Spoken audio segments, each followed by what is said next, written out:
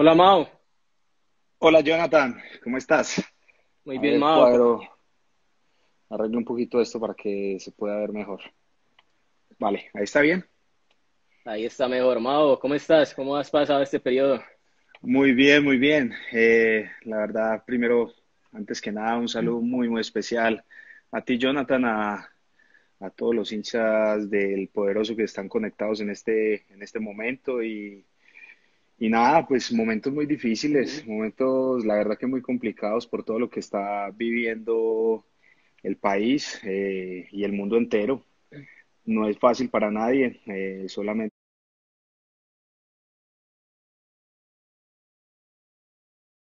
primero por el tema de salud que me imagino mucha gente alrededor del mundo está sufriendo eh, con un ser querido, un amigo, un allegado y, y bueno, y después, claro, también la parte económica que, que no es ajena a esta, toda, toda el, eh, la para que ya tenido la economía a nivel mundial y, y obviamente acá en Colombia que se va a ver bien afectada. Mao, lo primordial es la salud y la familia. Usted es un tipo que le gusta el hogar, comparte mucho con su esposa, con sus hijos. ¿Cómo le han llevado el tema del entrenamiento? Porque usted también es muy activo y le gusta estar, eh, mantenerse en forma. Entonces, ¿cómo ha sido este periodo para usted y para toda su familia? Bueno, la verdad, yo creo que, y lo he hablado mucho con mi señora, pienso que tenemos un poquito de ventaja porque en el tiempo que vivimos por fuera del país, que fue muchos años, eh, pues normalmente vivíamos, vivíamos así, los cuatro, eh, casi todo el día en la casa, obviamente pues con las salidas normales a, a comer, a un centro comercial, pero, pero a ver, la, la dinámica normal era estar dentro de casa con los hijos, compartiendo, y, y pues ahora sea, es un poquito más más, más fuerte pues esto porque no podemos, no podemos salir ni a la esquina, pero, pero la verdad que ya estábamos muy acostumbrados y la hemos llevado muy bien. Eh, también aprovecha uno para, para hacer cosas que hace mucho tiempo no hacía y que, y que también es bueno de vez en cuando pues como que salir un poquito de esa zona de confort y, y, y hacer cosas acá dentro de casa que, que normalmente no se hacen. ¿En qué anda Mao en ese momento, antes de la pandemia, que se está dedicando? Pues bueno, como algunos ya me han visto, he estado, he estado activo en los medios de comunicación, primero eh, en el bar Caracol eh, una vez por semana, eh, hablar de fútbol, de, voy como invitado, como panelista, y, luego este año comencé con ESPN, eh, eh, un programa, estoy haciendo 10 programas al mes, entonces me toca desplazarme a Bogotá eh, todas las semanas, pero, pero bueno, por periodos cortos, voy una semana de lunes a miércoles, la próxima semana de lunes a martes y así sucesivamente. Entonces, eh, bien, la verdad que bacano, la he llevado bien y me ha gustado. Mao, sí, nosotros no nos perdemos las intervenciones suyas. Lo que le pedimos es que no nos vaya a quitar el puesto cuando termine todo esto. No, yo creo que, a ver, yo creo que eso es, es un punto bueno para tocar, Jonathan, porque hay que hacer claridad que los exfutbolistas que estamos explorando este, este camino no somos periodistas, o sea, en ningún momento entramos a competir direct, directamente con ustedes, ustedes son los preparados en, el, en, en, en esta profesión, estudiaron para eso, eh, toda la labor periodística, investigativa, ustedes son los que la realizan, nosotros simplemente somos un complemento a ese trabajo desde nuestra experiencia, desde todas las cosas que nos tocó vivir dentro de un vestuario y en la cancha de fútbol y, y, y pues yo creo que ese, ese, complemento es bueno, al final se, se sale, sale beneficiado es el, el, el, que está al otro lado, sea, sea el, eh, el televidente o el, o el que o el que escucha o el oyente que escucha radio. No, tenemos mucha interacción y mucha participación de los hinchas a los que ya más adelante vamos a empezar a saludar.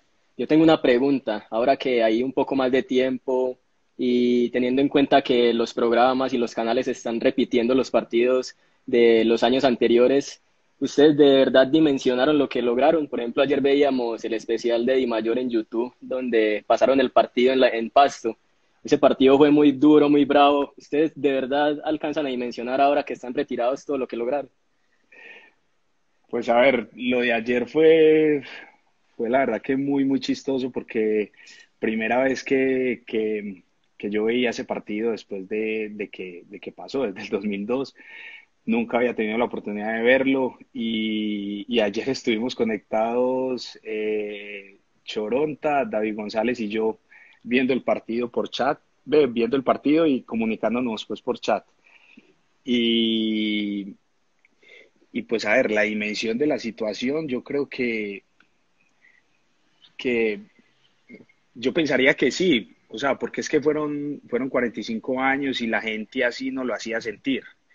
Y, más por la presión que nosotros vivíamos en ese momento que era que cargábamos con ese peso en la espalda de que Medellín no era campeón, de que este año sí, de que de que nunca van a poder ser campeones y nosotros veníamos con todo ese peso y al final logramos ser campeones y dejar, dejar eso atrás.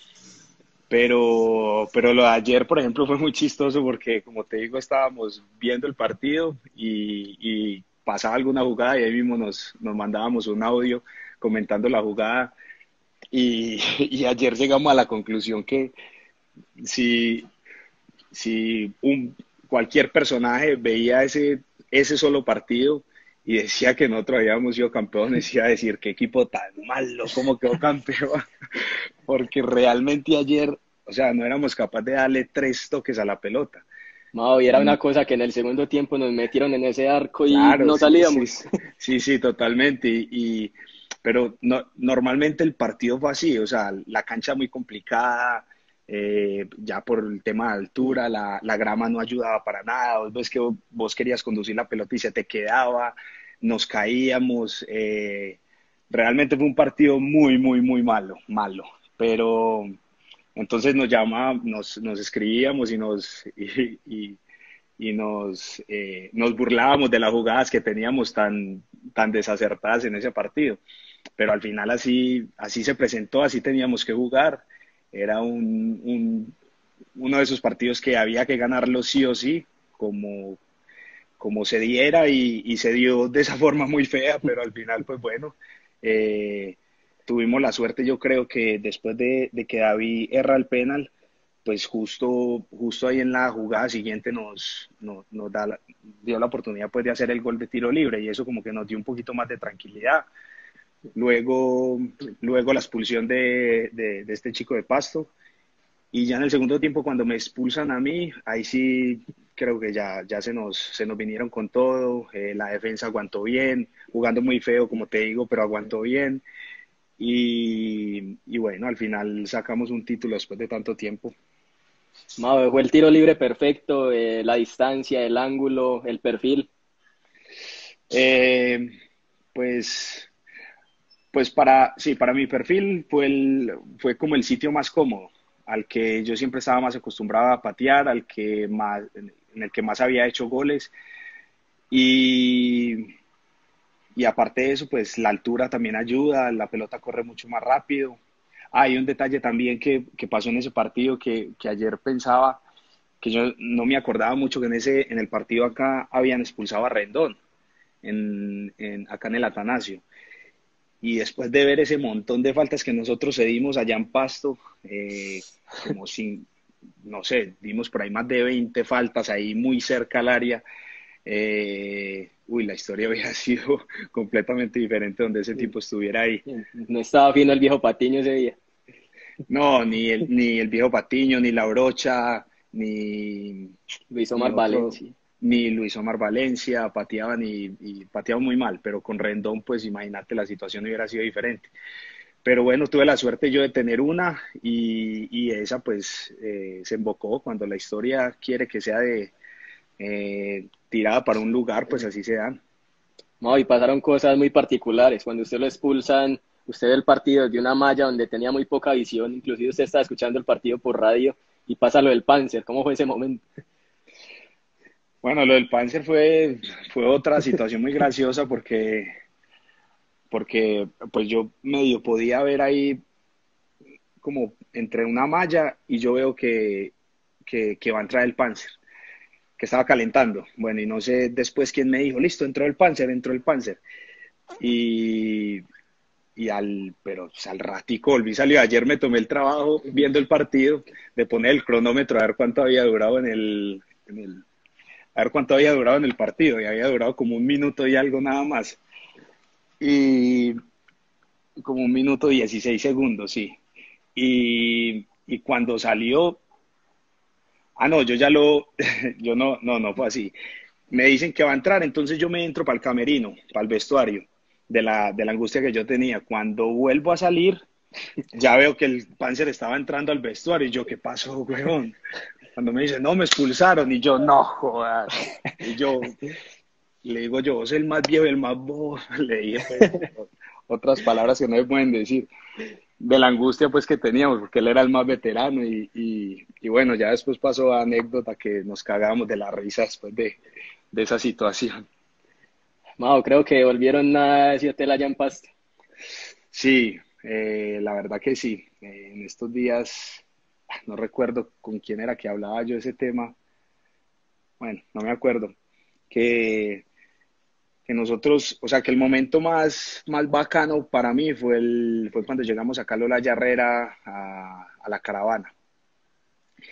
Y, pero estábamos hablando precisamente de esa caravana y yo les contaba que que igual como habría sido todo de, de, emocionante para nosotros, que habíamos pasado una noche terrible allá en Pasto, o sea, habíamos trasnochado, habíamos tomado cerveza, destruimos ese hotel cantando, saltando, gritando, y al otro día nos madrugamos, nos montamos en un avión, llegamos a Lolaye y fue el paseo en la, en, en la caravana hasta llegar a, al, al, estadio.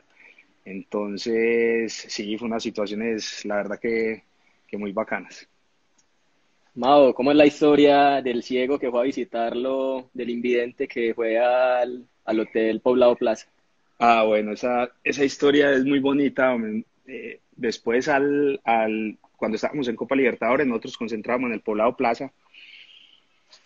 Y un día, pues ahí en el, Pobla, en, el, en el hotel siempre prohibían mucho como la gente, la, la, la entrada a la gente, tal.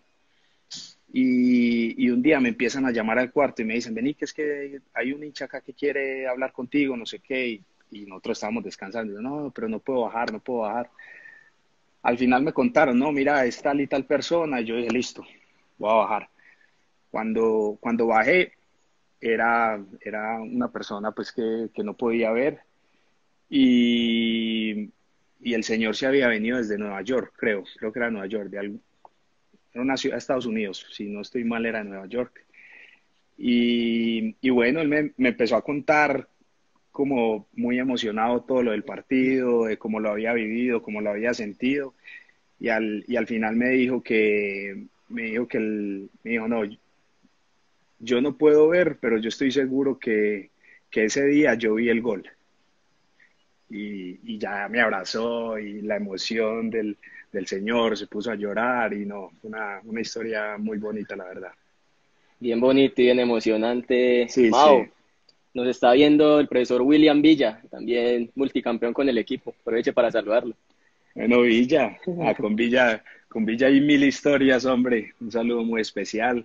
Eh, la última fue que rumbiamos con un berraco ahora en el, en el último concierto, concierto de salsa pero la verdad que Villa estuvo en varios pasajes de, nuestra formación en Medellín. Eh, creo que fue una persona muy importante en el proceso del 2002-2003, porque junto con Víctor pues, y el médico Carlos Palacio, ellos tres formaron un equipo muy, muy bueno, muy unido, muy bacano y nos dieron eh, a nosotros la fortaleza mental que necesitábamos para poder eh, sobrepasar toda esa presión que, que, teníamos nosotros en las espaldas, que era de tantos años sin quedar campeón.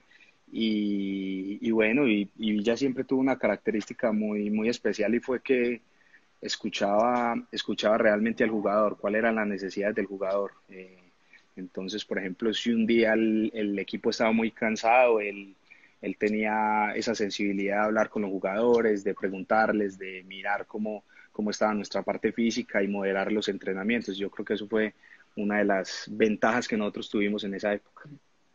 Vamos, antes de seguir hablando de ese título y de lo que vino más adelante, eh, me gustaría que usted mismo saludara a varios hinchas que están ahí conectados y que se manifiestan a través del Instagram para que ellos estén también en sintonía con lo que está pasando. Bueno, a ver, ahí mientras voy hablando he tratado como de, de, ver los mensajes y la verdad que, bueno, a todos un saludo muy, muy especial, ya, ya hay mucha gente conectada y, y bueno, eh, saludarlos a todos, decirles que los extraño mucho, que eh, obviamente pues ahora estoy en una en, en, otro campo de mi vida, muy tranquilo, muy contento disfrutando de mi familia y otros espacios, pero, pero es claro pues que la nostalgia siempre invade en los momentos cuando, cuando va uno a ver al equipo, cuando lo ve uno acá en televisión, o por ahí cuando en las redes ve algún post con algún gol o alguna situación. Entonces, la verdad que es, eh, es muy chévere también recordar eso. antes de hablar de la Copa Libertadores, yo tengo una pregunta. ¿Qué tan cierto es que cuando las cosas no estaban bien en el 2002, que el equipo estaba en la decimoséptima posición, se empezaron a implementar los asados antes de cada partido como para amenizar y mejorar el ambiente y que esto sirvió también como cábala y como motivación? Sí, yo creo que a ver, en el 2002 nosotros eh, implementamos muchas cosas, todas comandadas por, por lo que te decía ahorita, por Víctor Luna, por Villa y por Carlos Palacio. Y, y, a ver, aparte de los asados, una que a mí me pareció fundamental y que también siempre la he contado es, es después de los partidos, cuando, cuando Luna nos dejaba concentrados pues él mismo era el que aparecía con la bolsa de cervezas para todos en el cuarto. él nos decía, nos decía, no, mijo, no, no, no, no se vayan para la casa, vamos a descansar en el hotel. Y pues todos le decíamos, no, Víctor, vamos para la casa, ya llevamos mucho tiempo concentrados. Y él, no, no, no, no, quedémonos acá en el hotel. Pero era, la intención de él eh, era esa, era poder hacer grupo. Él sabía que cuando en, la en la parte anterior con, con, con Rueda, con Rueda y Velasco, eh, la situación no estaba muy bien, el ambiente estaba muy, muy, muy complicado, muy duro, eh, la hinchada se metía mucho con nosotros y, y, él lo que hizo aparte de todo el cambio táctico y anímico, nosotros éramos amigos, que teníamos que ser amigos dentro y fuera de la cancha y, propiciaba sus espacios. Entonces él mismo, como te digo, nos llevaba la cerveza, nos quedábamos en el hotel en un cuarto todos reunidos porque ahí sí íbamos todo el equipo a, a tomarnos unas cuantas cervezas, a hablar, a reírnos, a comentar el, el, juego y, y, eso pues precisamente hizo que el rendimiento empezara a subir. Mao, esa Copa Libertadores fue hermosa, eso fue bordado con letras de oro en la historia del club y el equipo entró sin tanto pergamino, porque era un, un, grupo duro con tres históricos del continente, y al final se logra ganar ese grupo ante todos los pronósticos. Sí, eh, a ver, ese, esa, el grupo de Libertadores, eh, a ver, yo, yo me acuerdo uno, por ejemplo, uno de los episodios que me marcaron a mí la carrera, y yo creo que fue uno de los momentos en los cuales eh, eh, me ayudó a mí a hacer lo que, lo, que, lo que fui durante mi carrera y fue cuando, cuando terminamos, te voy a contar una experiencia personal como para ponértela en contexto de lo que fue eso para nosotros como grupo. Eh, nosotros terminamos, fuimos campeones, nos fuimos de pretemporada y cuando nos vamos de pretemporada empiezan el tema del arreglo salarial. Entonces, eh, el dueño del, del, club en ese momento nos dijo, no, muchachos, no hay plata, no tengo ta, ta, ta, entonces el, el aumento es tanto. Y era muy, muy poquito. Entonces, eh, pues bueno, hubo algunos jugadores que no estábamos de acuerdo, tal. Entre esos, pues obviamente estaba yo.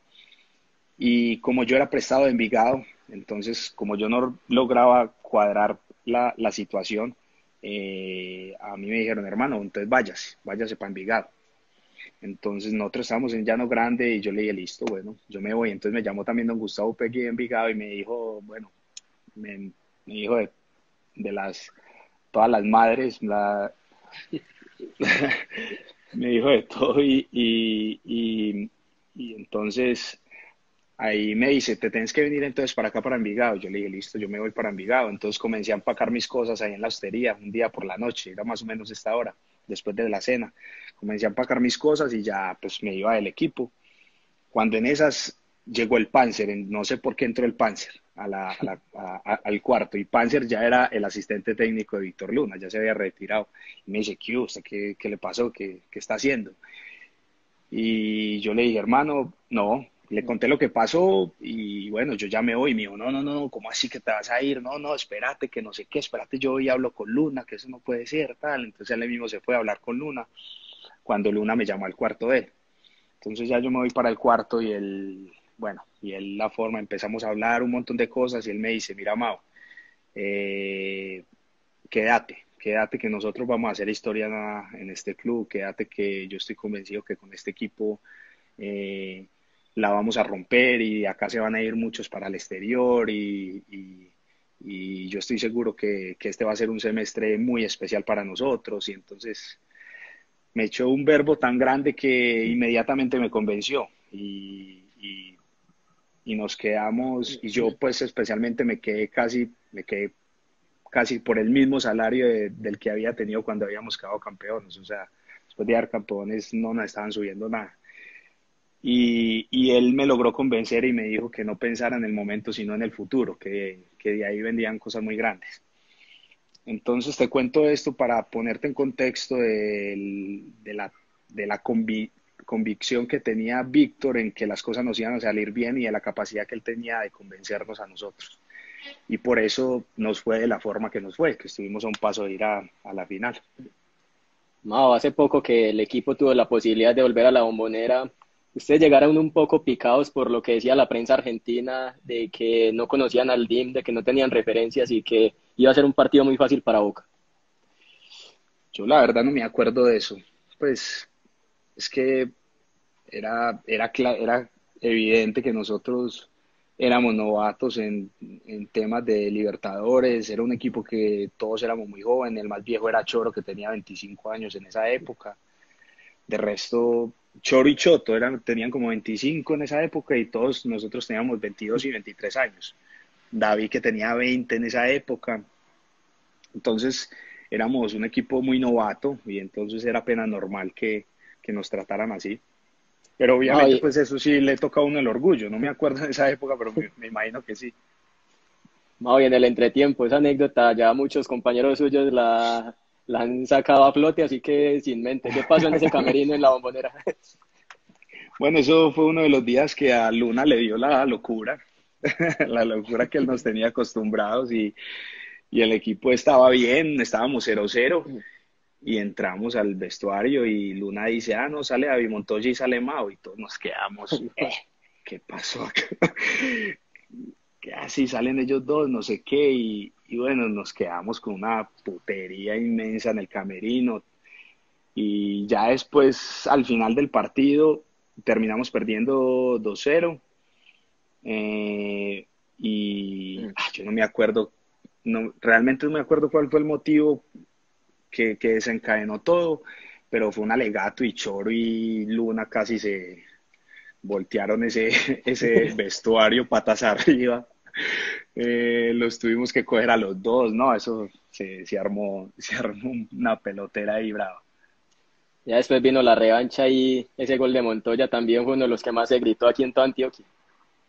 Sí, es que eh, ese, yo creo que ganarle a Boca en ese momento, Boca lo que era, lo que, lo que representa en este momento, obviamente, el club que es, pero en ese momento eh, ellos venían de, de, una, de, una, de unos años muy exitosos y el nombre de ellos, pues, eh, si hoy está acá, en ese tiempo estaba era en las nubes y pues tuvimos la oportunidad de ganarle, fue un momento muy, muy apasionante.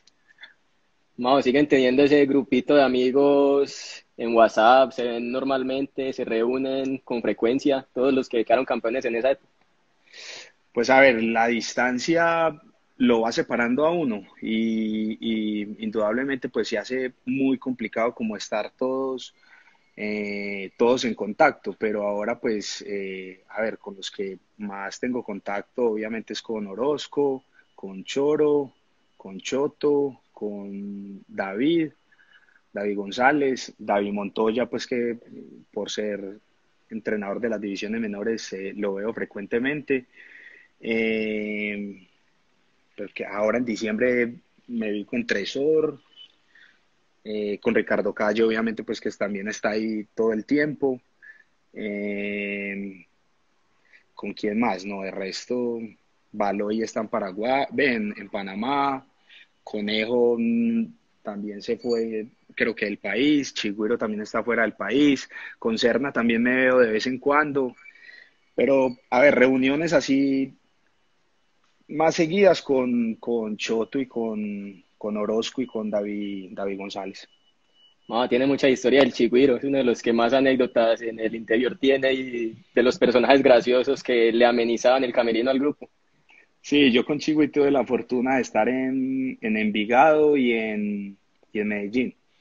Y creo que fue uno de los, de los jugadores con los cuales más me divertí. Es un tipo con un carisma espectacular, eh, un tipo de esos que, que, que, son necesarios en los grupos, que te sacan de la rutina, que, que te alegran los días y, y, que aparte de eso tiene ese don de gente de, de, de, ser, de ser entregado a un grupo, de, de no poner, de no enojarse cuando lo, cuando lo molestaban. A ese sí le hacían bullying. ¿eh? Ese sí sufrió. Bullying era el de antes. Y a ese sí. a ese sí le tocó pasar unas cosas. Eh, pero no, esos tipos que, que siempre te, te sacaban una, una, una sonrisa.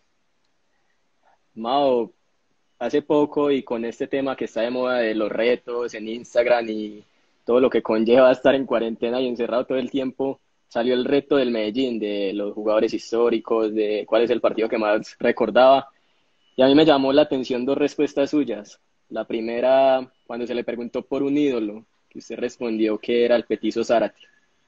Muchos dijeron que era Cano, que era Di González, que era Mao Molina, pero usted dijo que era el Petizo Zárate. ¿Qué recuerda y por qué es su ídolo? Pues a ver, lo que pasa es que la primera experiencia que yo estuve yendo al Atanasio Girardo fue, fue con mi papá cuando tenía, pues cuando estaba muy pequeño. Eh, pues todos, mi papá, mis tíos, mis abuelos, todos, todos eran enfermos por Medellín. Entonces, cuando los primeros recuerdos que yo tengo del Medellín fue cuando mi papá me llevaba al estadio y era precisamente viendo ese equipo donde estaba Petizo Zárate estaba Petizo Zárate, Jara, estaba Ormeño, eh, estaba Alferri Zambrano, eh, bueno, eh, un montón de muy buenos jugadores y yo con el que más me identificaba en ese momento era con el Petizo, el que más me gustaba cómo jugaba, tenía la 10 y pues era como, fue como la posición que a mí siempre me gustó desde que estaba muy niño, desde que tengo uso de razón. Entonces, yo creo que los ídolos son esos, son las personas con las cuales uno tiene recuerdo de cuando era niño. Eh, obviamente ya uno grande puede tener, puede tener ídolos, puede tener gente referentes o personas en las cuales uno, uno quiere emular, pero para mí ese tema de ídolos va más desde, desde, desde pequeñito, desde que uno tenía mucha más inocencia y, pues los primeros recuerdos que yo tengo es, es con ese Medellín. No, y la otra respuesta fue la del partido más significativo, el que más recuerda. Y usted dijo que fue el 2-2 con Gremio en Porto Alegre. ¿Qué tuvo de especial ese partido que también fue una de las mejores exhibiciones que el equipo dio en Sudamérica? A ver, es que con Medellín tuve varios partidos muy marcantes. Eh, podría decir que el partido de Pasto, que el partido con Santos que perdimos acá. Eh, pero, pero yo me, me, en este momento pues me voy con el de gremio por la forma como jugamos. O sea, mira por ejemplo el de Pasto que te decía ayer, o sea, ayer lo volví a ver y yo sí tenía la, la, la, imagen de que habíamos jugado muy mal y que ha sido un partido muy sufrido y que, y que no logramos darle tres, tres pases seguidos. Pero el de gremio siempre, el, el primer recuerdo que se me viene a la cabeza es ese, que muchos era la primera vez que salíamos a jugar en un ambiente de Copa Libertadores en Brasil. Eh, cuando salimos a esa cancha la, la, torcida era una presión muy, muy, muy grande y, pues todos teníamos ese temor de cómo iba a reaccionar el equipo y, la verdad que ese día eh, jugamos con mucha personalidad, jugamos bien, eh, yo hice un gol, por allá estrellé otra pelota en el palo, David también creo que fue el que hizo el segundo gol, también un gol muy bonito y, yo creo que en, en ese partido fue que realmente Suramérica empezó a, a, destacarnos a nosotros como un equipo que jugaba muy bien al fútbol y que enamoraba a la gente, eh, precisamente por ese partido y por los comentarios de, de los de los narradores de, de, ese juego. Entonces, por eso se me viene a la mente, simplemente por, por porque un partido que, que lo recuerdo que, que, jugamos muy bien. Mao, lo está saludando John Javier Choronta Restrepo. Ah. Ayer me dio palo todo el que quiera viendo de partido. No, pero ayer le dio más duro fue a David. A, David le dijo que no había sacado ni una sola vez bien. Lo regañó todo el partido. No, y, David, no se quemó ni un segundito. Eso cogía el balón y sacaba de uno. Y sacaba de uno. No, no, quemaban a él. No, pero David ha, tenido, David ha tenido esa particularidad y es que nunca le ha gustado eso a él no le ha gustado quemar tiempo y normalmente saca rápido, pero, pero si estaba excedido, pues estaba sobrepasado. Eh, pero ayer, ayer le dio duro. Chorol, esta mañana, esta mañana eh, Orozco, porque Orozco no estuvo conectado ayer y esta mañana eh, mandó un mensaje a Orozco cuando ya escuchó todos los audios de ayer diciendo que, que, que parecía Iván Mejía. porque le dio palo a todos. Y me imagino que así era entre la cancha un comandante. Sí, sí, sí, Choro, Choro un personaje, yo creo que ha sido de los de los eh, de las personas de los jugadores que yo he compartido que tiene más influencia dentro de un grupo, o sea, es, es un líder natural, es una persona que, que habla y la gente lo sigue y no necesita ni, ni sobreexponerse, ni, ni sobreactuarse.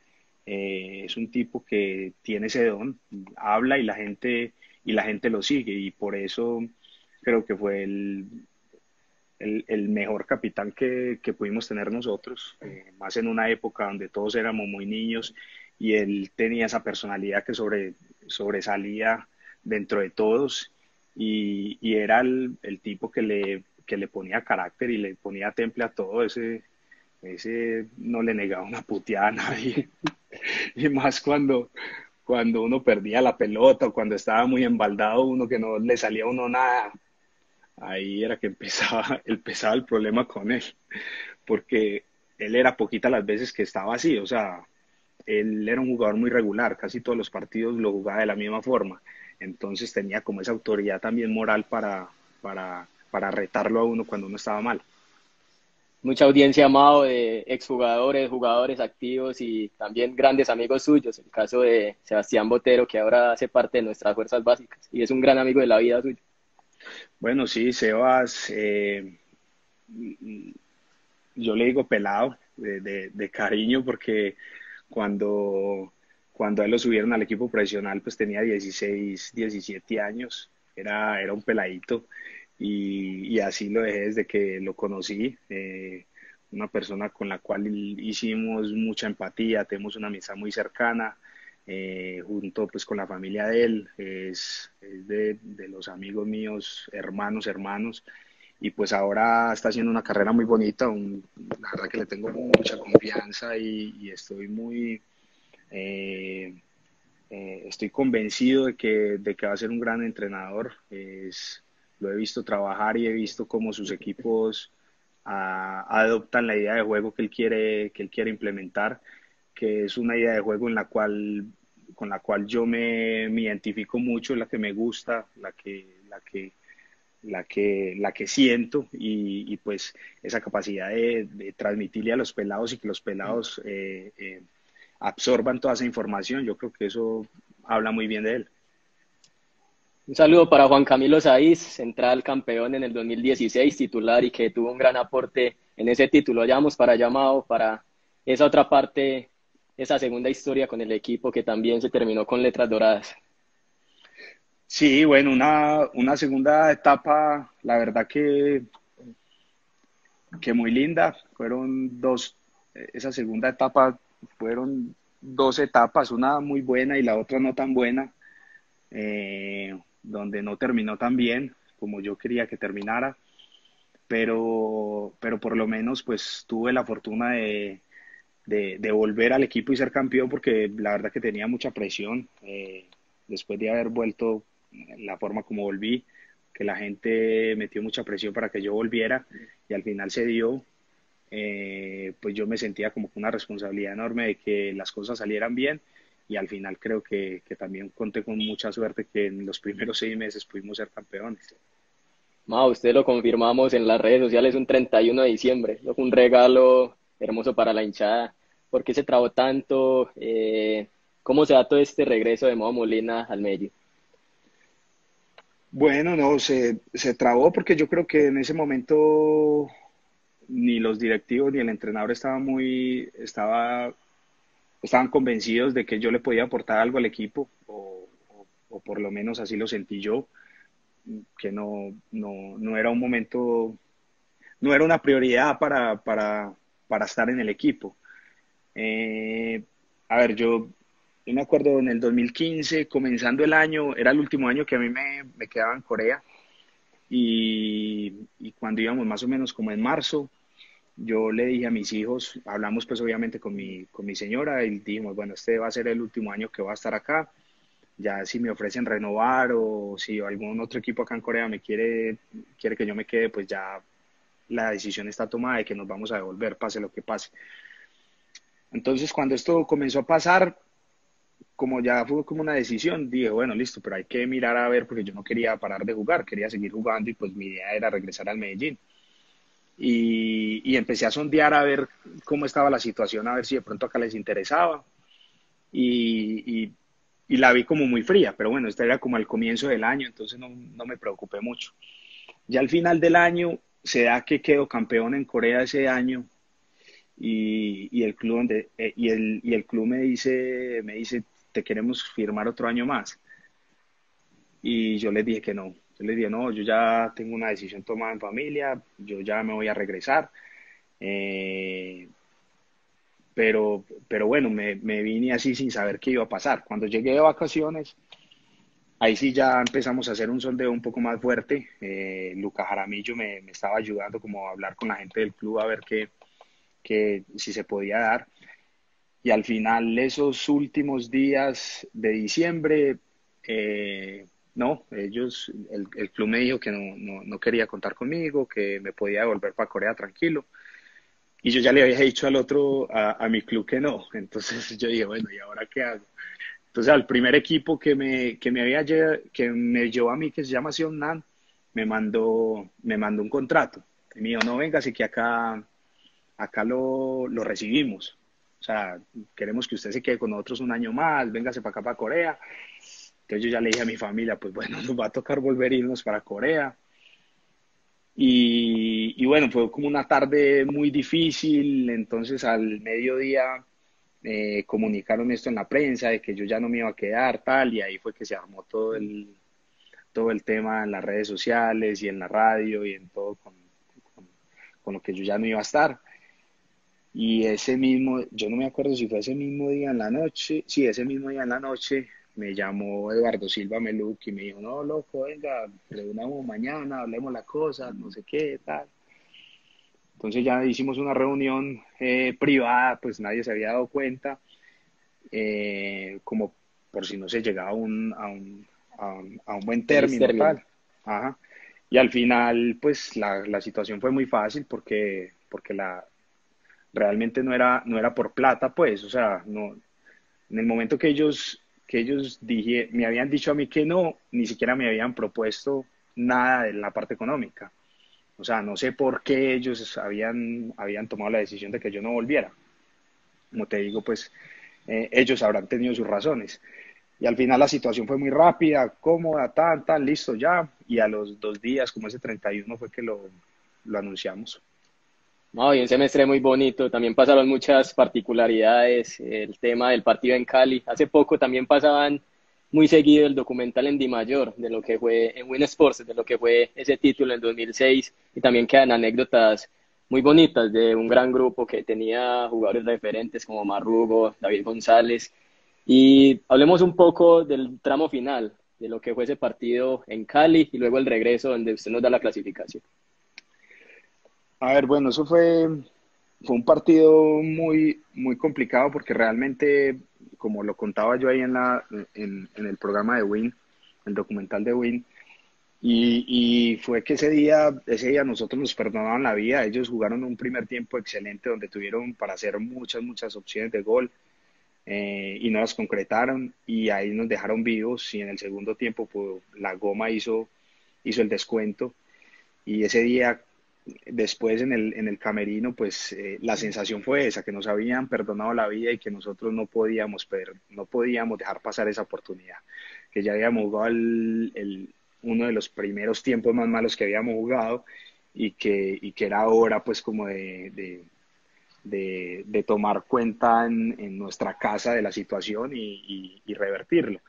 Y ya vinimos a ese partido de vuelta y, y pues se da la lesión de, de Arias en la nariz y yo tuve la oportunidad de entrar, que también me extrañó un poco porque yo no había entrado en Cali, eh, habían entrado otros jugadores por encima de mí, entonces uno obviamente cuando es suplente uno, uno mide cuál es como la escala en, en los suplentes y uno más o menos sabe cuáles son los, dependiendo del momento del equipo, se va dando uno cuenta quiénes son los, los, como los primeros que están teniendo en cuenta para, para hacer los cambios.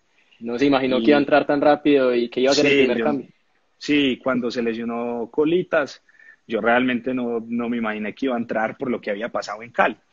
Y, y bueno, eh, me llamaron para entrar y, y, creo que para mi gusto, pues fue como uno de los partidos mejores que, que jugué con Medellín, que mejor me sentí en esta, en esa segunda etapa.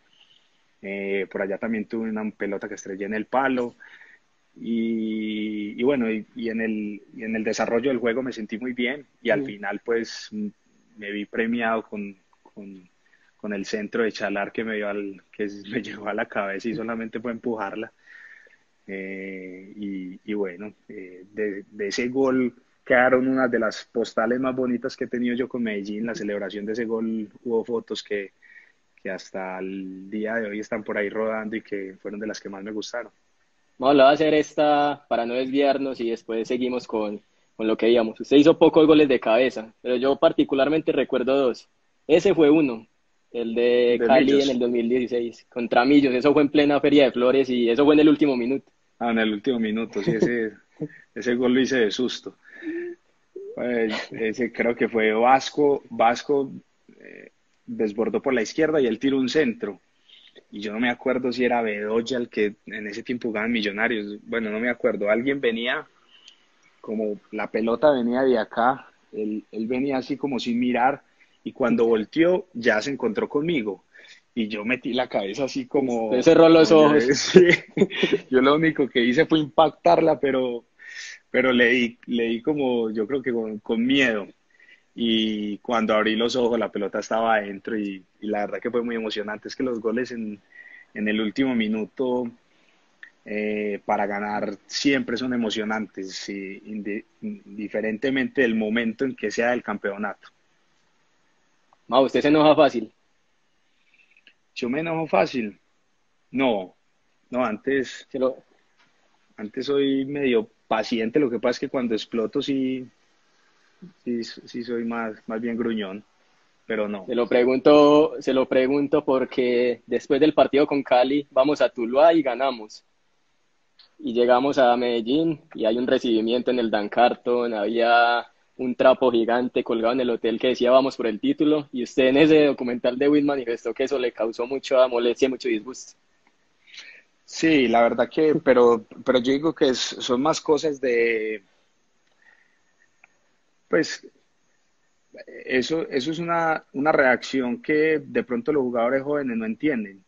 Es más, a, medida que uno va recorriendo etapas durante la vida y que la madurez va llegando y que va estando en momentos eh, diferentes de la carrera de uno, uno va observando cosas que no le gustan. y, y por eso quizás uno choca tanto cuando uno es veterano y por eso quizás a los entrenadores les molesta tanto que, que los jugadores veteranos estén dentro de los equipos, porque ya uno con esa experiencia, uno, uno se da cuenta que hay cosas que no están bien y que no, y que no, y que no caben en momentos, eh, en, en, momentos, por ejemplo, como este. Y, y, yo ya venía, ya venía un poquito maluco porque yo ya sentía en el grupo el aire de, de, de triunfalismo. De triunfalismo, ya estábamos ya pasados de confianza, ya veníamos como en un tono de recochita todo el tiempo y esas cosas, eh, como te digo, uno es el que las identifica. Y aparte de eso, llegamos al hotel y veo esa, ese recibimiento y yo dije, no, yo, Dios mío, acá esto va a ser peor. Y mira que el, el tiempo le da a uno la razón. Pasó el partido con Tuluá y, y pasó lo que pasó. O sea, casi nos eliminan, nos dieron un baile el berraco. Y, y bueno, ese día, al final, si no fue por las atajadas de David, pues estábamos, hubiéramos estado eliminados fácilmente. ¿Cómo vivió esa tanda de penales? Uy, la tanda de penalti fue, fue bien graciosa porque, porque a, ver, primero cuando, cuando terminó el partido, pues yo sí sentía que eh, como ese, ese pesimismo tan bravo entre la gente y yo decía, no, acá la situación va a estar apretada para ganar porque la energía no estaba buena. Y pasaron, y pasaron dos cosas muy, muy chistosas, que fue, empezamos, bueno, ¿quiénes, ¿quiénes son los que van a patear los penaltis? Entonces los primeros cinco fue como, dentro de todo fue fácil, tata. Pero todos pensábamos que íbamos a terminar ahí en los cinco, no, nunca nos preparamos para lo que venía después. Entonces, yo me acuerdo que termina, termina la, la primera tanda, eh, Ah, bueno, antes de eso, cuando Tipton falla el penalti, o sea, yo las cuentas que hacía era que Tipton hacía el penalti y yo remataba la última y, y, y cerrábamos. Cerrábamos. Y todo se, se, se volteó porque Tipton erra el penalti. Cuando Tipton erró el penalti, yo ya tenía la responsabilidad de hacer el penalti o si no, nos eliminaban. O sea, ya tenía yo el riesgo de votar y que, y que tú lo anotara. Anotara y chao. Sea, se me volteó toda la torta. Cuando, cuando empieza ese penalti, yo dije, cuando Tito no volteó, a mí me empezó a dar de todo. Empecé como a sudar frío y unos nervios cuando, cuando justo arranco, arranco a cobrar el penalti, que eso pues ya todo el mundo lo sabe, que eso es el, el, el camino más largo que hay. Cuando empiezo a caminar, de uno de los pelados de Tuluá empezaron a gritar, ay, este lo va a votar, este lo va a votar, este lo vota, este lo vota, no sé qué. Y a mí me, me agarró esos nervios, yo dije, ay, hijo de pucha. Y se me empezó a, a, pasar como toda la película por, por la cabeza y yo, uy, no, y toda la gente, todo el, toda, todo el, lo todo el hicieron para que, que hicieron para que yo volviera y ahora era que yo los voy a eliminar, no sé qué. Pero cuando iba en ese camino, empecé a cambiar todos esos, todos esos pensamientos negativos por positivo. No, no, no, vos pateas muy bien, vos lo haces, eh, vos, vos, tata, todo, todo por pensamientos positivos. Y tuve mucha suerte que hice ese ejercicio, ese ejercicio y cuando llegué a la pelota, ya llegué muy tranquilo. Llegué muy tranquilo y muy confiado que lo iba a hacer. En cuestión de segundos pensó todo eso. En cuestión de segundos hice todo eso y lo cambié tan y al final, y al final lo hice, entonces como que el, el descanso, pero cuando, cuando ya pasa eso, yo ya vuelvo, cuando yo estoy volviendo ya, los muchachos me felicitan, pero yo veo que ya todo el mundo empezó, eran discutiendo entre ellos. Claro, entre los que no habían cobrado, a ver quién era el otro que iba a cobrar. entonces, yo los veo y yo le digo, ¿qué pasó? Y entonces uno le decía al otro, no, no, anda vos, anda vos. Y el otro le decía, no, no, no, anda vos, anda vos y patea. Entonces el otro le decía, no, no, vos llevas más tiempo acá, vos si lo votas no te dice nada la gente. y el otro le, el otro le respondía, y, le, y en cambio si yo voy, a mí me mata la gente, a mí me mata la gente, no, a vos no te dicen nada. y, y empezaron a discutir y yo, entonces, ¿qué? ¿Quién va, quién va a patear? y nada, y lo uno se tiraba al otro. Cuando el man, ese, el, el de Tuluá patea y lo hace, nos vamos a la tanda, estos dos per personajes seguían peleando. y yo agarro a uno así de la mano y yo al vos, ¡tum! y lo tiré. Y yo, ah, ya lo cogí así. Y yo, ah, yo hasta que cuando el man va y lo bota. No, yo me quería matar y yo, yo, ¿para qué lo obligué? yo lo obligué y, cuando él vuelve y me dice, sí, hermano, sí, ¿para qué me obliga? ¿Para qué me obliga? ¿Para qué me obliga? Y yo, bueno, ahí fue David y tapó el penalti. Ya después creo que fue Pertus, bueno, no me acuerdo el orden, pero ya llegó el otro personaje que estaba peleando con este y decía, y decía, yo no voy a ir, yo no voy a patear, yo no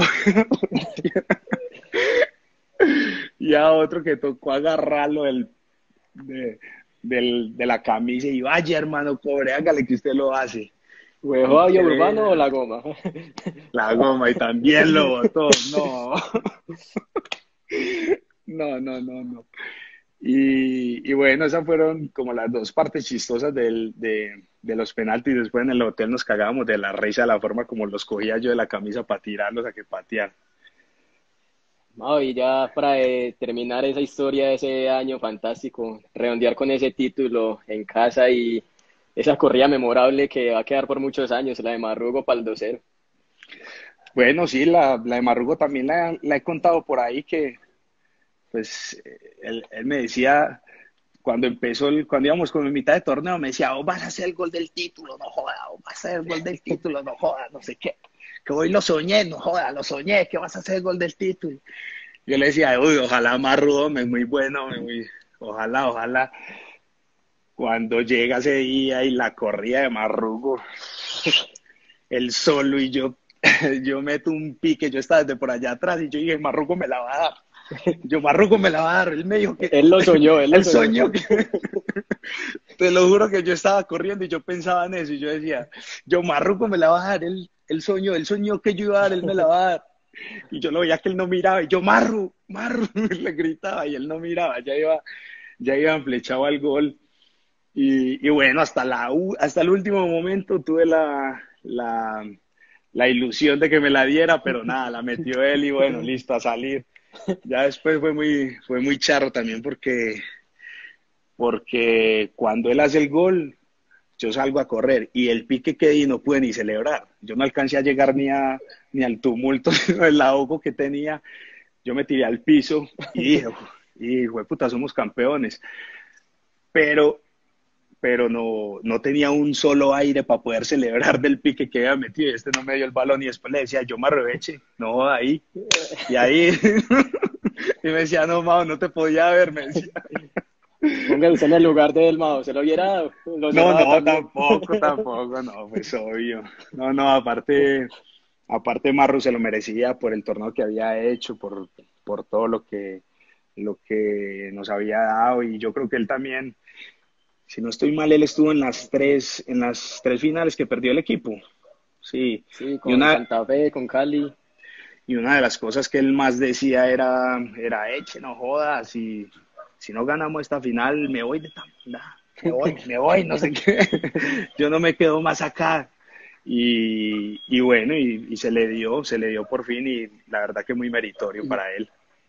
Bueno, ya para ir cerrando, le voy a hacer las últimas, que es obligación, porque aquí estoy leyendo en los comentarios y muchos preguntan por el gol olímpico. Hablemos de lo que pasó. Lo primero que pasa antes de que usted lo marcara y ya cómo fue ese momento en que ya vio que el balón estaba dentro del arco de Saldarriaga. Bueno, la verdad que a, mí, a mí eso siempre me ha causado mucha, eh, mucha sorpresa porque porque para mí pues el gol más importante que yo hice con el equipo fue el gol en pasto, o sea, y siempre lo he dicho, o sea, ni siquiera fue porque con ese... No habíamos en el Olímpico, volvamos a empezar. Bueno, entonces, a ver, eh, no, que a mí me causa mucha sorpresa porque, porque para mí el gol más importante que yo hice con el equipo pues fue, fue, fue el gol en pasto. O sea, que te decía que más allá de que ya habíamos hecho dos goles acá de local, eh, de que teníamos una ventaja y, que el gol mío no fue decisivo, por decirlo así, porque al final fue, fue un global que ganamos 3 a 1. pero fue el último partido, fue, fue el que, como en el que queda como la retina de la gente, fue en una, en, en una situación también muy complicada porque pues si allá nos hacían un gol, eh, la situación se ponía muy crítica porque era muy fácil que nos hicieran el segundo, eh, por todo pues, lo, que, lo que conlleva jugar en pasto. Y, y, pues de lo que más se acuerda la gente es de ese, de ese, de ese gol olímpico. Obviamente yo creo que es porque por, por haber sido en un clásico, porque es contra Nacional y, y porque es un gol de esos que poquitas veces se ve. Eh, fue un gol que, bueno, esta historia también ya la he contado muchas veces, que fue marcado por una bolsa de agua que me tiraron de, desde la tribuna, porque antes de, de, de cobrar, yo, yo, iba a cobrar normalmente, o sea, la chinga que era el arquero, Andrés Aldarriaga estaba, en, estaba bien parado, estaba, eh, estaba normal, indicando eh, la posición de sus jugadores, pero estaba en una buena posición. Entonces yo en ese momento no tomé la decisión de, de patear al arco. Cuando me pegan la bolsa de agua, eso cae con mucha fuerza desde allá arriba, con una velocidad eh, fuerte y me sacó el aire. Cuando me sacó el aire, yo, yo me, me, hago así en cunclillas como para volver a tomar aire, para, para, para volver a recuperarme. Y cuando estoy así, me da por mirar y veo que, que la chinga ya estaba afuera, hablando con los compañeros y ordenándolos y se quedó en esa posición, se quedó muy afuera, muy retirado de la línea.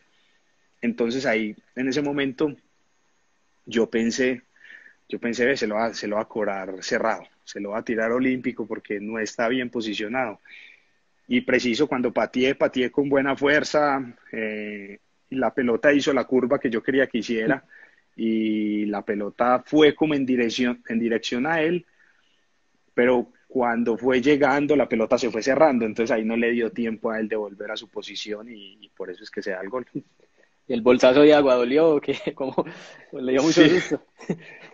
Pues la verdad que cuando le cae a uno algo de allá arriba es eh, se siente bastante, cuando, o una moneda o cuando le pegan a uno, cuando tiraban pilas también, eh, todo ese tipo de cosas eh, cae con mucha con mucha fuerza y esa bolsa de agua, eh, la verdad que bajó con mucha, con, con mucha potencia y, y, siempre me pegó acá toda la parte de la espalda y me sacó el aire.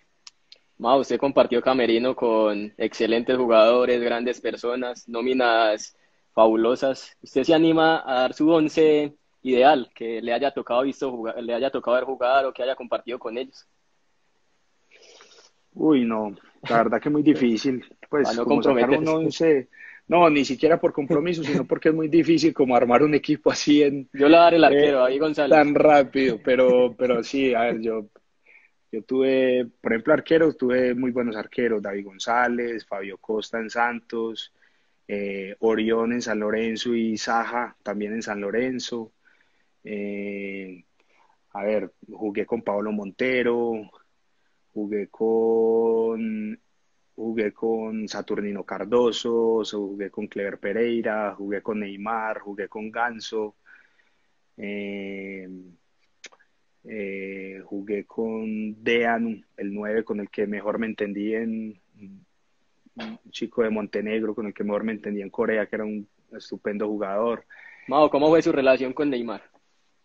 Eh, la relación, pues eh, pues fue una relación cuando estuvimos de compañero muy buena. Eh, nosotros, la verdad que en el tiempo que, que pude compartir con él, eh, lleno de, de, anécdotas buenas, chéveres, eh, un pelado, la verdad que, que muy, muy alegre, le gustaba joder, charlar, era de los que le gustaba la recocha dentro del grupo y, a pesar de su edad, pues él llegó cuando tenía 16 años al, al, equipo profesional, inmediatamente encajó y empezamos, empezamos pues así como con todos a, hacer una muy buena sintonía y pues era de los que más recochaba todo el día. ¿Se coleccionó camisetas? Sí, tengo una buena colección. ¿Cuáles son las más significativas? Pues la más, la de Messi. Eh, en un partido en Corea que ellos fueron ellos fueron con Barcelona de gira, nosotros jugamos con la, eh, con el equipo eh, All-Star de, de, la, de, la Liga de Corea. Y jugamos ese partido amistoso y, bueno, con esa, con esa camisa hay una anécdota buena. Eh, imagínate que estábamos en medio del partido, entonces comenzó el partido y Messi no, no estaba entre los titulares porque porque él apenas estaba llegando de vacaciones y cuando él llega a Seúl, Guardiola en la rueda de prensa anuncia que, anuncia que él no va a jugar. No, él no puede jugar porque acaba de llegar, no sé qué. Y eso se armó, se armó la de Troya ya en, en, Seúl porque pues todo lo habían vendido era porque Messi iba a jugar. Entonces dijeron que no, que tenían que por contrato, porque si él no jugaba entonces no iban a pagar. Entonces al final eh, al final Guardiola dijo, listo, lo voy a poner 15 minutos para que la gente se contente, pero solamente 15 minutos. Entonces entramos el equipo titular de, del equipo coreano, del All Star, y, empezamos, íbamos ganando 2-1. Eh, creo que empezamos perdiendo 1-0 con gol de Zlatan, de Zlatan, y después nosotros hicimos dos goles, remontamos, íbamos ganando 2-1 hasta que entró él al minuto 30. Entonces, bueno, el estadio se quería caer cuando iba a entrar el tipo, tal, no sé qué. Y, y íbamos, sí, entonces en una jugada yo estaba jugando por la banda izquierda, entonces era el lateral y, y yo más adelantado, como casi el carrilero pues por izquierda. Sí. Cuando, cuando justo pues vamos a un ataque y pasa el lateral izquierdo mío, pasó al ataque y ya pasó muy rápido, entonces como pasó muy rápido yo me quedé ya como cubriendo la posición.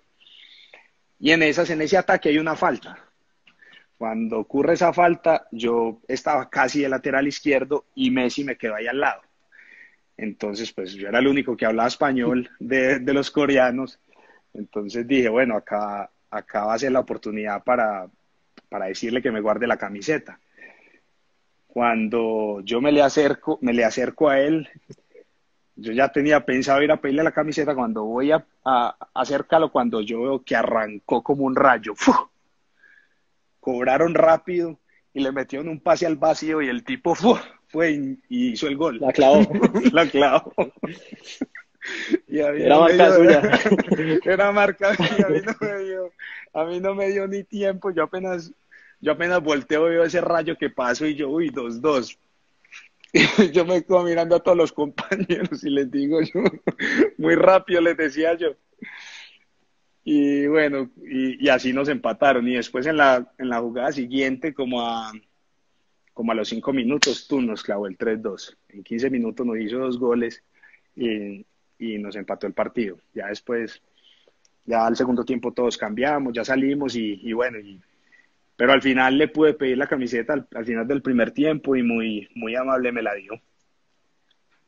¿Y cuáles otras tiene ahí que recuerde con cariño?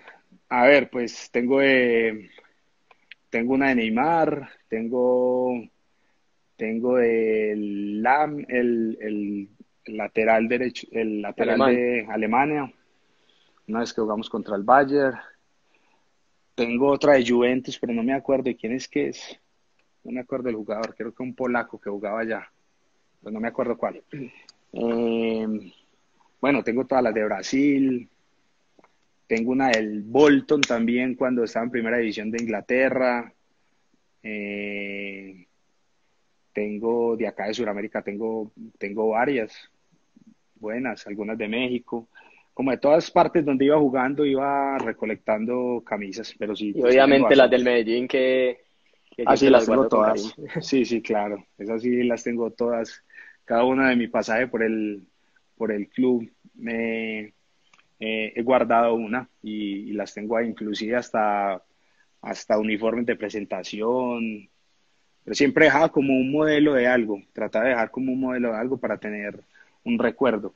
También, ¿sabes qué hice? Hice, hice un buen, cuando yo voy a Brasil en 2008 me empezó a patrocinar Adidas. Sí. Y en todo el tiempo que estuve con Adidas, siempre guardaba también como un modelo de los guayos que me daban. Entonces también hay colección de guayos. Entonces también hay una colección, son, la mayoría son nuevos, pero pues algunos que no usé, pero siempre, me, como me daban dos pares, guardaba uno, uno con los que jugaba y los otros los dejaba como de, de, colección. Entonces también tengo una buena colección ahí como de guayitos.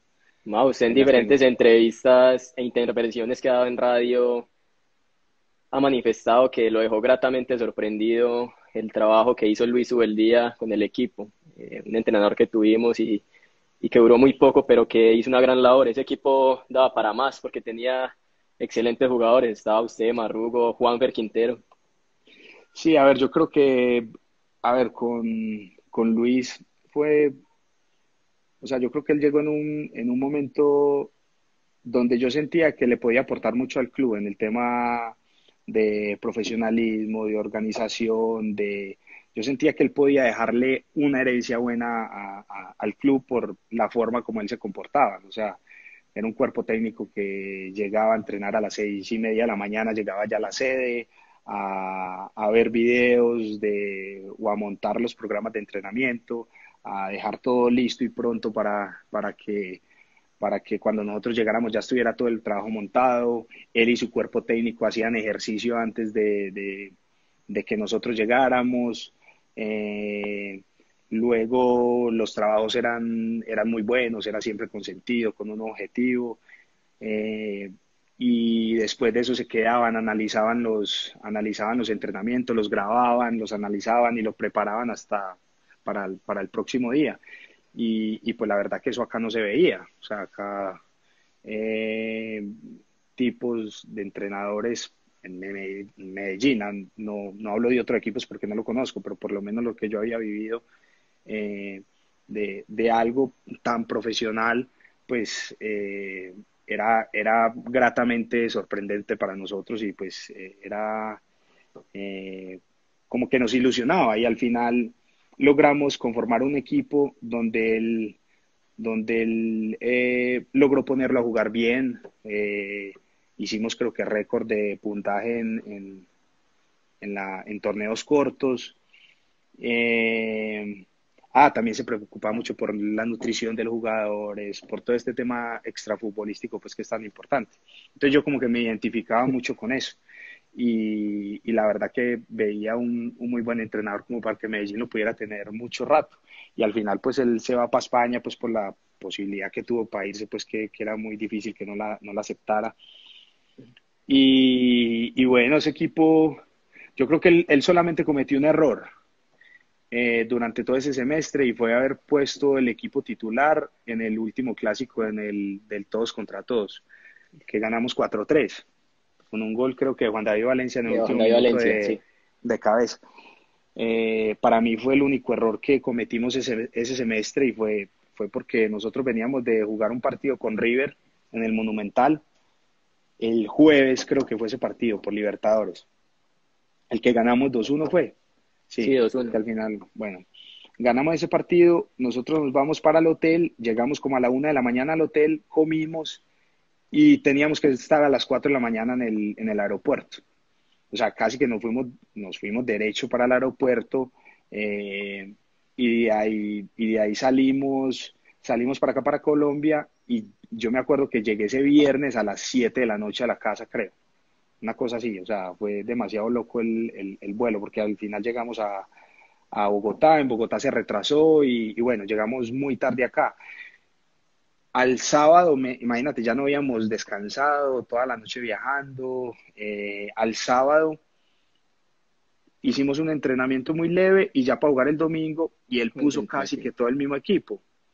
Puso casi que a los únicos que le dio descanso fue a Valentín, y a, y a Juanfer, que eran pues como los que más eh, sufrían en la parte en la parte física. Entonces a ellos Juanfer entró en el segundo tiempo. Exactamente, que Juanfer entró en el segundo tiempo, pero a ellos dos como que los cuidó y el resto de equipo jugó por el entusiasmo del clásico, no sé qué, y nosotros ya estábamos clasificados. Yo creo que Nacional también ya estaba clasificado, no sé.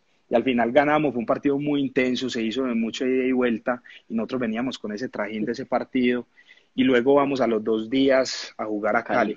El equipo llegó totalmente destruido, o sea, yo veía que llegábamos tarde a todas las pelotas, eh, el equipo quería pero no podía, ese día pues fue el día que nos metieron cuatro, nos metieron 4-1 y, y, yo creo que la sacamos barata pues porque el equipo no estaba bien ese día, o sea, fue el, el único partido que yo le vi al equipo que estuvo muy fuera de tono y, y, para mí fue por eso, porque el equipo lo sintió. Y ya en el partido de vuelta acá no nos dio, lo, lo pusimos 3-1, muy cerca, muy cerca, pero, pero yo creo que la, la pagamos muy caro en el partido en Cali.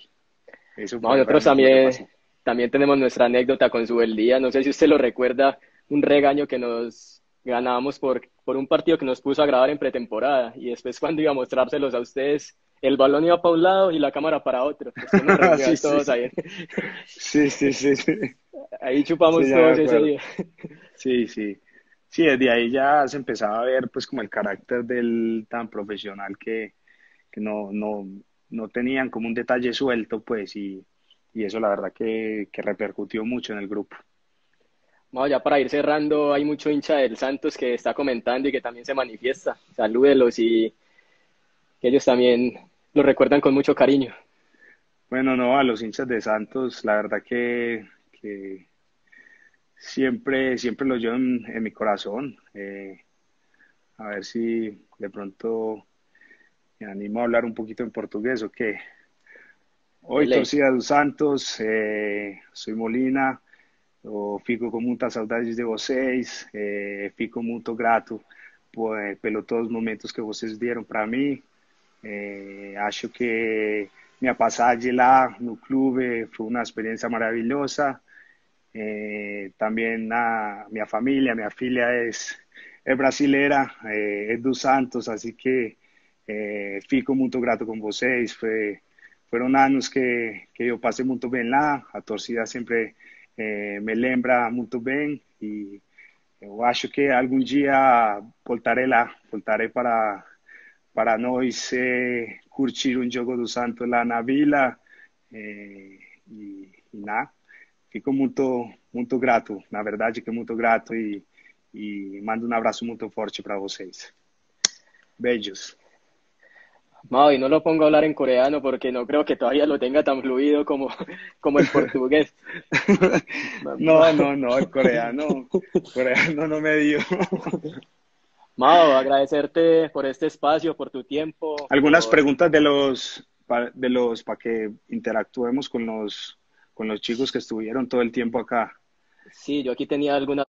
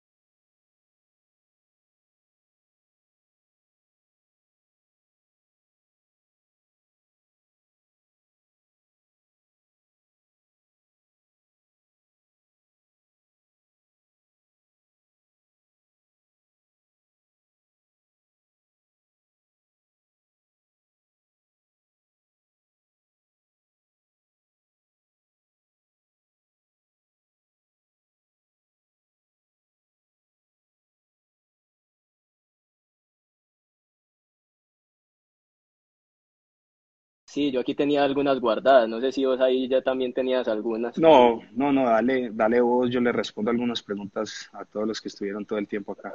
Por ejemplo, Alex Álvarez nos preguntaba si en algún momento te animás o tenés pensado dirigir al Medellín. ¿Dirigir qué? ¿Como entrenador? Sí, como entrenador. ¿O tenés otros planes? no, no, eso es, eso es para David González, para Seba Botero. Eh, no sé si Choro si anime a ser entrenador, que también estaba ahí, pero ya lo veo más del otro lado. No, de entrenador yo creo que David y Sebas. Eh, no, a mí, a mí la verdad, director técnico no, no me ha apasionado mucho. Eh, yo siento que no sé si es que no me siento con, con, condiciones para hacerlo o de pronto no me mueve mucho.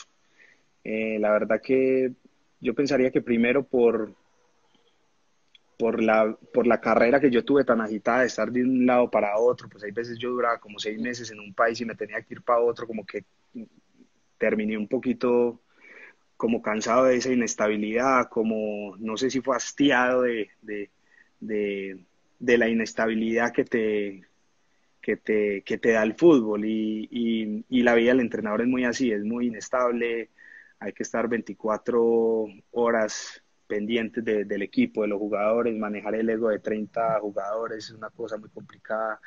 Y pues por ahora no, no lo he tenido, no, no, lo, no lo saco porque yo por ejemplo ahora hago cursos de eso, hago cursos de análisis de juego, hago cursos de, empecé uno pues ahora porque me ha empezado como a interesar un poquito más la parte táctica, a empezar como a ver un, un poquito mejor eso, pero, pero la verdad la parte técnica no mucho. Nos preguntan que cómo ves a Alejo, a tu hijo, que si tiene condiciones y potencial para algún día jugar en el Medellín.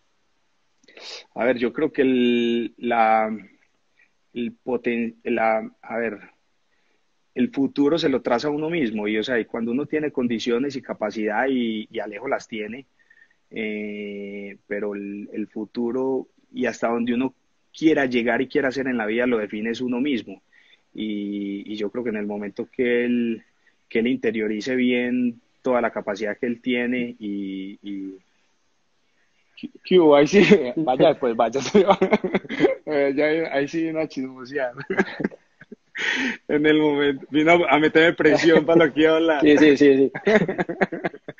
Yo creo que en el momento que él, que él se dé cuenta de la capacidad que tiene, eh, pues él va a poder definir su futuro y yo estoy convencido y por eso lo he acompañado y por eso he estado todo este tiempo encima de él porque porque yo le veo condiciones y sé que sé que puede llegar. Tengo muchísima confianza en él.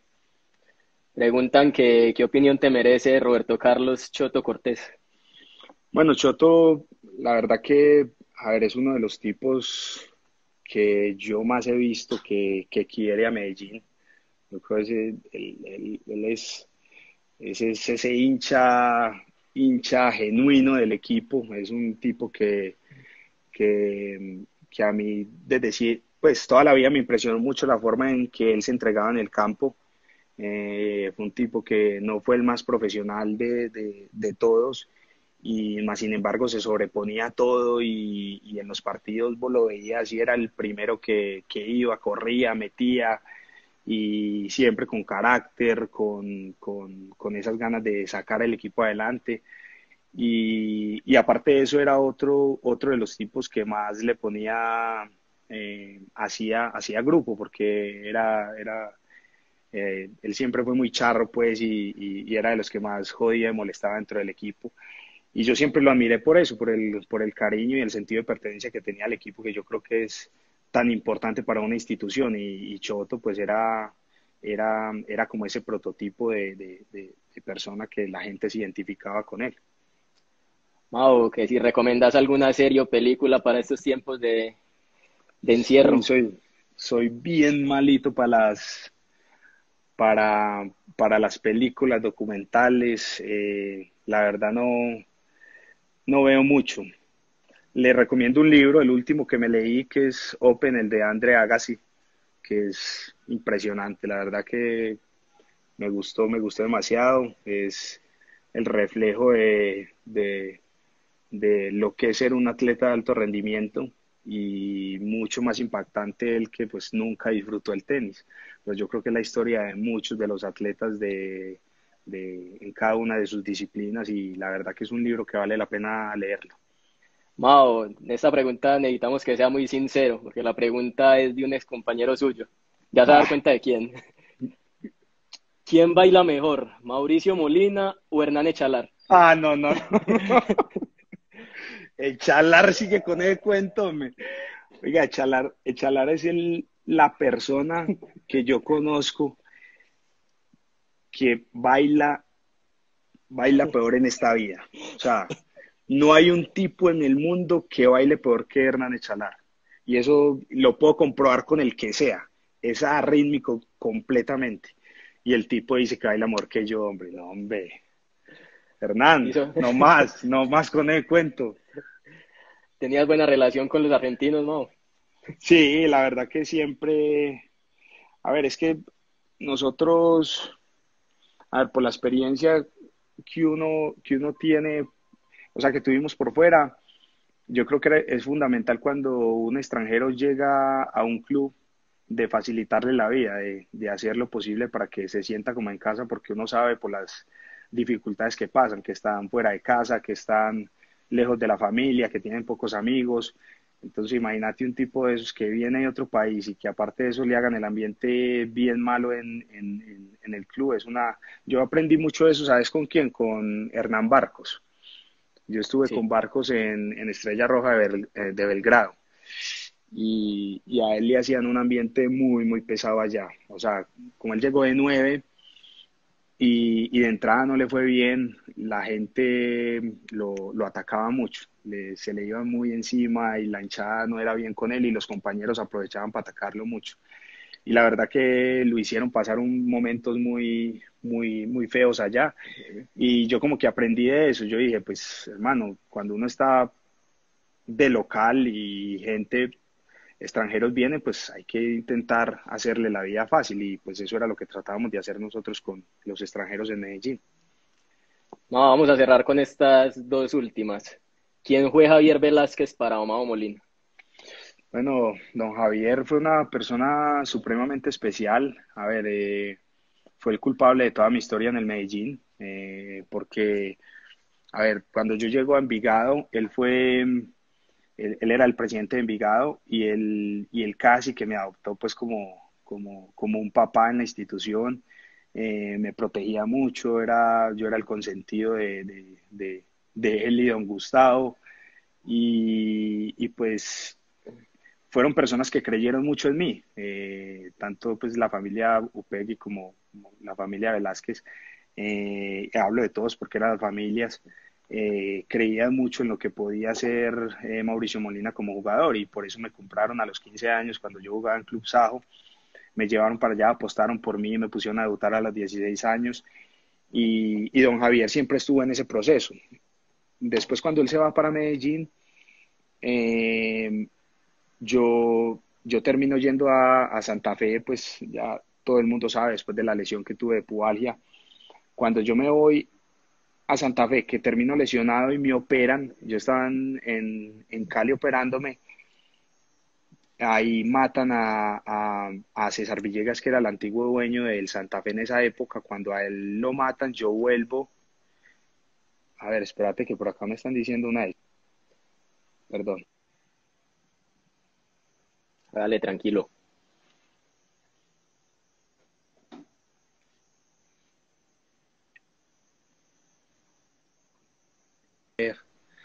Me, me, dijeron una que contara una de Choro, pero no sé cuál.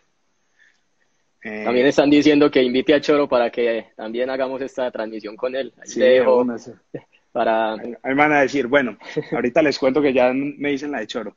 Entonces, cuando, cuando pasa eso, eh, a mí me, yo veo que matan a César, César Villegas, entonces don Gustavo Pegui me llamó, me dijo, no, te tenés que, te tenés que volver para, para Medellín. Eh, pero iba para Envigado. Otra vez volví a ser eh, don Gustavo dueño de, de, mi pase y yo volví a Envigado. Y me acuerdo mucho un día que yo estaba en la, en, ya en el hotel, tenía, como a mí me habían operado pubalgia, era acá en el estómago, tenía una hinchazón acá muy grande. Casi no me podía mover de la cama y, sonó el teléfono del cuarto. Y, era don Javier. Entonces me dice, me dice don Javier, hola Maito, no sé qué, me dice, eh, mijo, véngase para acá pa, conmigo, para Medellín. Y yo le dije, no, Javier, pues, eh, pero vea yo como estoy, yo, yo estoy acá tirado en una cama, yo que me voy a ir a jugar allá a Medellín, yo, yo, yo estoy, yo estoy inválido todavía. Y me dice, no, venga, mijo, que yo creo en usted, acá lo recuperamos, acá le volvimos a dar el cariño. Usted necesitas cariño, mijo, usted necesitas cariño. Y él fue el que me convenció de llevarme al Medellín y me llevó estando así, en la situación en que yo estaba. que estaba pues muy mal y me recuperó, me dio confianza y, y pues ya el resto fue historia lo que pasó con Medellín, pero fue gracias a él. No, antes de que vaya con la de Choro. Espera, espera.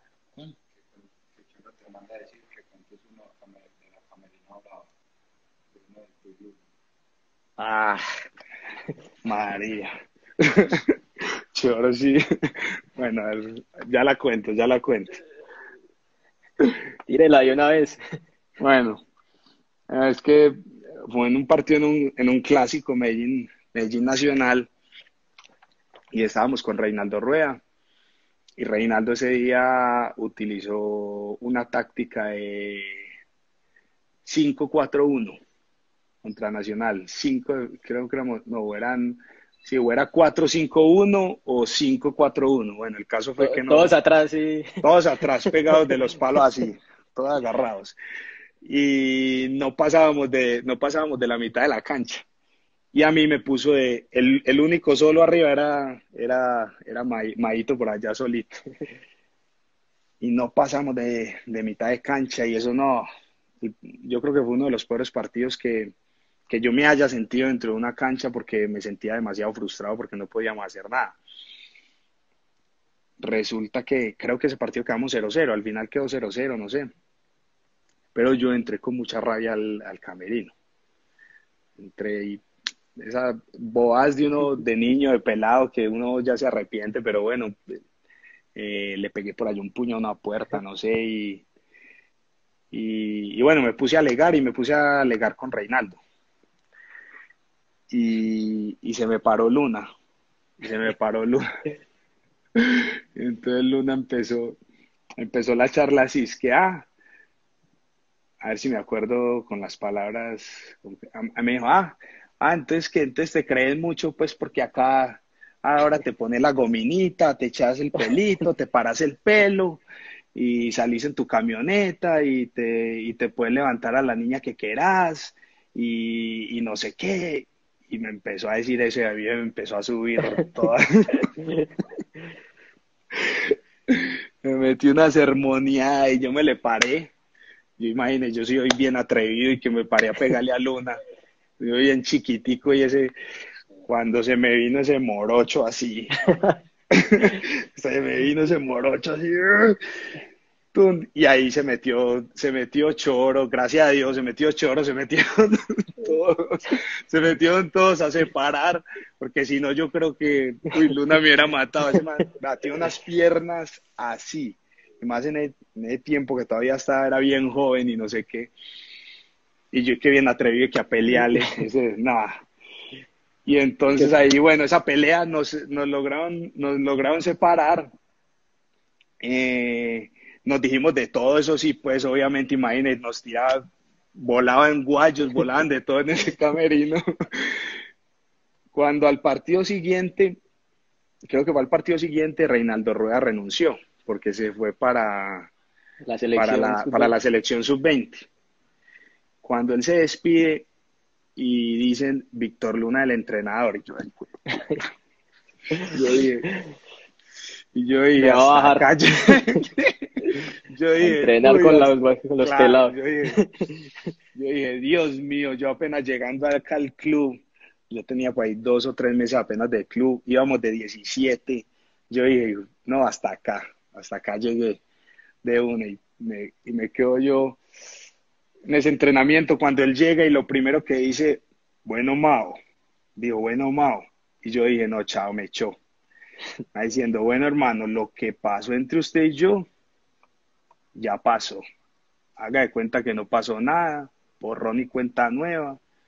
Usted y yo está todo bien, todo, todo ok, que vamos para adelante, vamos a ser campeones. Y yo lo necesito a usted.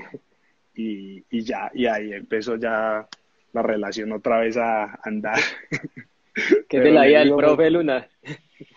Luna, bien, en estos días me lo encontré. Es increíble cómo, la verdad que yo siempre lo he dicho, o sea, a nivel profesional, yo creo que fue de los, de los poquitos entrenadores que yo le aprendí algo.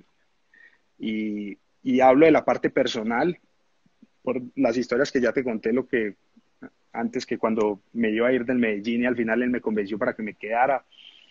toda esta parte personal, todo lo que él hizo como grupo, pero aparte de eso, fue de los poquitos que, que, que yo empecé a, entenderle los conceptos de fútbol. O sea, nosotros, nosotros siempre fuimos jugadores, y hablo de mi generación, la mayoría fuimos jugadores que jugamos por instinto. O sea, nosotros la mayoría de veces, por ejemplo, caíamos a, una, a un espacio de la cancha por instinto, o sea, nadie nos decía que ocupara esa posición o que llegáramos allá, no, era porque uno lo sentía y yo, más que todos los jugadores de ataque, o sea, en el lado de defensa siempre los entrenadores se preocupábamos por, por cuidar el, el, bloque defensivo, por la táctica, tal, pero a nosotros, los de adelante, no, era de la mitad para arriba, recupera el balón y haga lo que quiera. Y con él, eh, con él fue de los primeros entrenadores que empecé a escucharle que teníamos que jugar en espacio corto, en 40 metros, entonces todos los entrenamientos los planificaba era para que el equipo estuviera compacto. Eh, eh, nos hizo jugar sin nueve en esa época que jugábamos Mahler, David Montoya y yo. Y un día nos agarró y nos dijo, no, nosotros vamos a jugar sin nueve. Y nosotros decíamos, está loco, ¿cómo vamos a jugar sin nueve? No, eso es, eso es imposible, nosotros no podemos jugar con, sin nueve. Y aparte creo que Serna se había ido para, para, Italia, Para Italia, entonces él dijo, no, no, no, yo no necesito nueve, nosotros vamos a jugar así, así, y así vamos a quedar campeones. Entonces decía, este está loco. Él me decía, no, espere que yo le voy a, le voy a montar todo el esquema del equipo para que ustedes puedan llegar al arco y hacer gol y ustedes no le van a no le van a tener no le van a dar referencia a los defensas y él fue el primero que yo pues por lo menos yo le empecé a escuchar el lo de falso 9 eh, que teníamos que jugar con, como falso 9 uno no entendía y era obviamente desde arriba salir hacia atrás eh, quitarle la referencia a los centrales y después caer por sorpresa al área y esas cosas pues la verdad que y en estos días que hablé con él es increíble como uno, o sea, todavía está intacto y todavía te habla de fútbol y te dice un montón de cosas que vos decís, este tipo tiene razón. Mau, con esta cerramos. ¿Qué opinión te merece el trabajo que ha hecho hasta el momento Aldo Bobadilla? Bueno, a ver, como, siempre lo, que digo, es muy difícil uno hablar de un entrenador cuando no tiene la oportunidad de estar en el día a día con él y de trabajar con él eh, siempre, siempre me, o sea, yo, por ejemplo, cuando doy un concepto de un entrenador, ha sido más desde mi experiencia, de poder haber estado con él, de compartir, de ver cómo él es en la parte de manejo de grupo, cómo planifica los entrenamientos, cómo es capaz de manejar 30 egos, eh, cómo es en el tema de estrategia, de, cómo se comporta también en la línea, cómo es capaz de cambiar el rumbo de un juego, cómo es capaz de impactar a los jugadores. Y cuando uno no tiene esa información es muy difícil dar un concepto de un entrenador. Eh, pero lo que uno ve de afuera es que ha hecho un trabajo en un momento muy delicado para el club, donde el club eh, financieramente no ha estado bien y, y se ha armado, se ha armado como, no, no digo como se ha podido, sino dentro del límite financiero que ha tenido. Eh, entonces, eh, ha tenido un equipo que, que, pocos daban crédito y pues al final pues ha sacado resultados. O sea, quedó campeón de la Copa y ahora creo que el club es consciente de que armó el equipo para entrar a la primera vuelta de, de a la fase grupos de Libertadores y estaba ahí. Entonces, no sé cómo es como entrenador, pero pero pues hasta ahora pues él, le ha rendido. Mao, agradecerte por este espacio, por sacar el tiempo, por tu disposición, por la colaboración y por tu amabilidad. Esperamos que sigas ahí disfrutando en casa con familia y que esta situación pase pronto para que volvamos a la, cotidianidad y a lo que más nos gusta hacer. Bueno, sí, Jonathan, sabes que dispuesto siempre para eh, pues he sido siempre un man muy abierto como para este tipo de cosas y mucho más pues si es, eh, si es para el equipo, poder compartir con la gente, obviamente pues quisiera uno responder todas las preguntas y todos los saludos que, que, la, que la gente está mandando por acá. Pero nada, de antemano mandarles un abrazo muy fuerte a todos, decirles que los recuerdo mucho, no solamente a los hinchas, sino a ustedes también en el club. Eh, creo que dejé eh, gente muy querida, con, muy buena amistad. Y, y, bueno, uno ya cuando está acá del otro lado se acuerda de muchas cosas con nostalgia y creo que estos espacios son perfectos para eso y mucho más ahora en estos momentos que nos toca quedarnos en casa, que hemos, estamos pasando por esta situación tan difícil. Eh, y, también es chévere poder propiciar estos espacios de, interacción con la gente para, para sacarnos un poco de, de, del tedio que nos pueda causar estar todo, todo un día encerrados. Mau, muchas gracias, lo queremos mucho y le vamos a proponer a Choro que salga también en vivo para que él cuente sus historias y sus anécdotas. Sí, dígale, dígale, sale, sale. Yo, le digo ahora. Yo le digo ahora, compromiso que no hable de mí. Mau, muchas gracias y feliz noche. Bueno, chao, chao. Que estén bien, cuídense.